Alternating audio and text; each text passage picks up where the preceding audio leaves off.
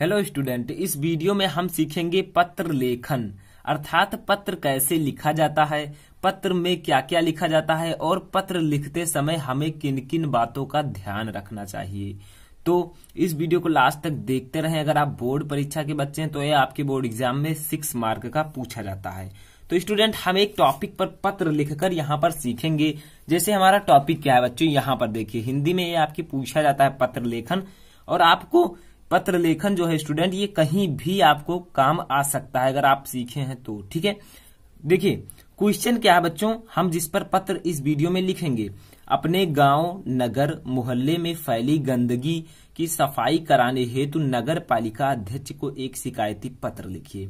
यानी कि आप अपने गाँव भी आ सकता है, अपने नगर में भी आ सकता है, ठीक है?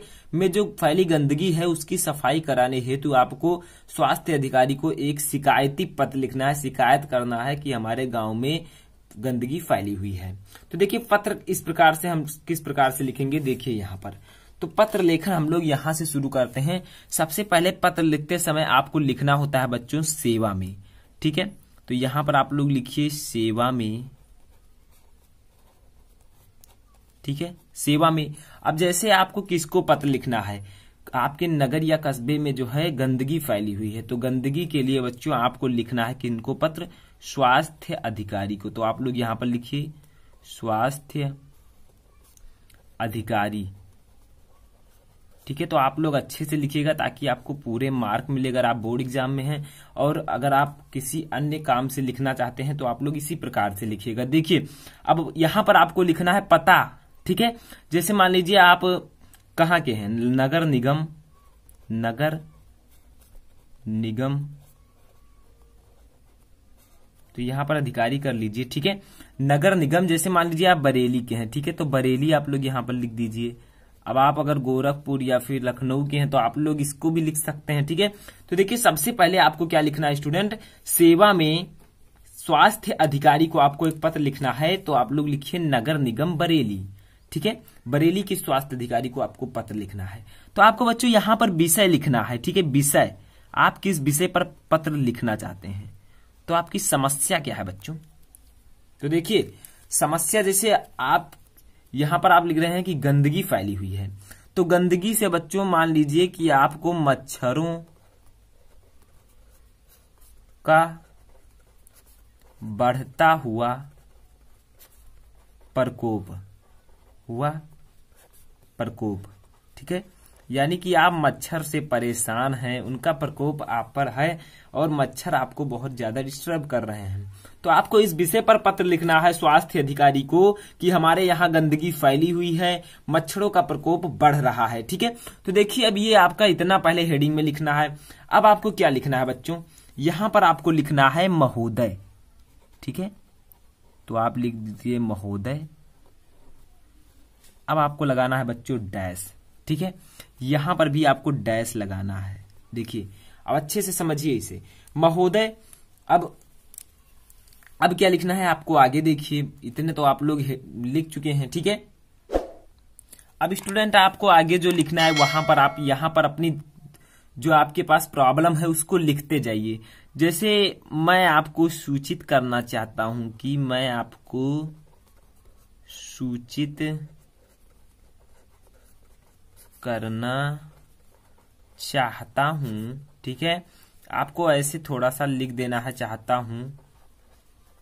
अब देखिए बच्चों, आपको ऐसे ऐसे जो है बच्चों, सभी को लिखते हुए चले जाना है। जैसे आपको ऐसे लिखते हुए, जो आपकी समस्या है उसको यहाँ पर लिख देना है, डिस्क्राइब कर देना है कि आपकी समस्या क्या है, ठीक है? तो इस प्रकार से आप लोग लिख दीजिएगा सभी को। अब देखिए, यहाँ पर आपने इतना लिख दिया, ठीक है? अपने, आपने अपनी समस्या पूरा लिख दिया यहाँ पर। ठीक है? आप देखिए स्टूडेंट, इतना तो आपका हो चुका है। अब आपको लिखने के बाद अपनी समस्या यहाँ पर आपको क्या लिखना है? सहृदय धन्यवाद। सहृदय धन्यवाद। जो आपकी समस्या है बच्चों, उसको आपको बड़े बड़ा लिखना है डिस्क्राइब करना है कि आपको क्या क्या समस्या है, ठीक है? तो यहाँ पर आपको डिस्क्राइब करना है उन सभी को। अब देखिए, यहाँ पर डेट डाल सकते हैं। अगर आप स्टूडेंट हैं तो डेट डालने की ज़रूरत नहीं है। दिनांक यहाँ पर आप लोग डिस्क्राइब कर सकते हैं कि क्या दिनांक है, ठीक है? अब दिनांक डालने के बाद यहाँ पर आप लोग लिखिए बच्चों, भौदीय, ठीक है? भौदीय। अब भौदीय लिखने के बाद बच्चों क्या कीजिए? यहाँ पर नाम लिखना है कि मैं कौन हूँ, ठीक है? आप लोग का खगा लिख सकते हैं। तो यहाँ पर नाम लिख दिया गया। अब यहाँ पर अपना पता लिखना है, ठीक है? यहाँ पर अपना पता लिखना है। जैसे हम यहाँ पर कुछ लिख देते हैं, जो आपका पता है, वो आप लिखिएगा। जैसे हम लिख देते हैं, मान लीजिए, मंत्री मोहल्ला, ठीक है? सुधार समिति।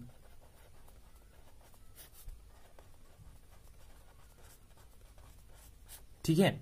सुधार समिति सुभाष नगर, आप जहाँ के हैं, उसको भी डिस्क्राइब कर सकते हैं।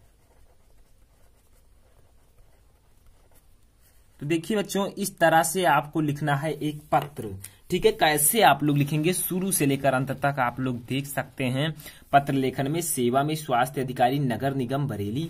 विषय आपका क्या है? किस विषय पर आप पत्र लिखना चाहते हैं? मच्छरों का बढ़ता हुआ प्रकोप। अब महोदय, मैं आपको सूचित करना चाहता हूँ कि मेरे यहाँ यहाँ पर लिख दीजिए।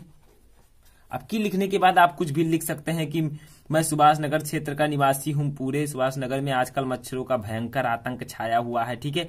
जिससे घर घर में मलेरिया फैला हुआ है तो आप लोग इस प्रकार से डिस्क्राइब कर सकते हैं अपने प्रॉब्लम को। अब यहाँ पर आपको लिखना है हृदय धन्यवाद पत्र लिखने के बाद फिर दिनांक डालना है भौदीय, ठीक है? अपना नाम और अपना पता यहाँ पर लिख देना है, ठीक है? फिर आपको भेज देना है। तो ये था बच्चों, आप एक पत्र लिखने का तरीका। तो अगर आप बोर्ड एग्ज़ाम देने जा रहे हैं तो भी ये पत्र लिख सकते हैं अच्छे आसानी से आपके बोर्ड एग्ज़ाम में, ठीक है? अच्छे मार्क आपको मिल जाएँगे। यहाँ पर आपको इस तरह से लिखना है, ठीक है? और अगर आप किसी और कार्य से लिख रहे हैं तो भी लिख सकते हैं। तो स्टूडेंट, इस वीडियो में बस इतना ही। आप लोग अच्छे से पत्र लिखना सीख गए होंगे, मेरी आशा है।